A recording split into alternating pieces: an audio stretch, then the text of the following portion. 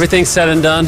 This room will be the greatest room in an abandoned city you've ever seen. This is our new shelf. All right, let's see how she looks. See that? See all that dust?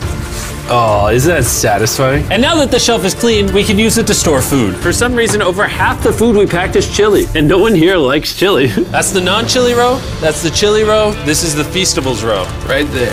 Now we have a table to put our Cirkul water bottles. Mark has a 22 ounce bottle, this is the 32 ounce bottle, and they have a metal double insulated bottle that you could get for free right now if you buy 10 flavor cartridges. What a steal. No, it's not a steal, it's free. Oh.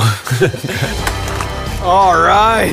That's gonna block a lot of wind. And with our new door in place, we also hung up this huge tarp, which will allow us to keep all the heat from the fireplace inside our shelter. Oxygen comes in, fire burns, sends heat in the room, sends smoke out. This is redneck engineering at its finest. And finally, after being cold for so long, all right, Look at that. And we have a fire. I can feel the heat coming out.